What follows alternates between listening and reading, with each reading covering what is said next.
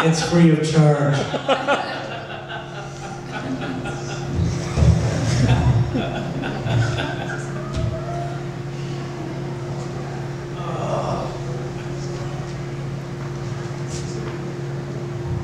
This was kind of a last minute decision.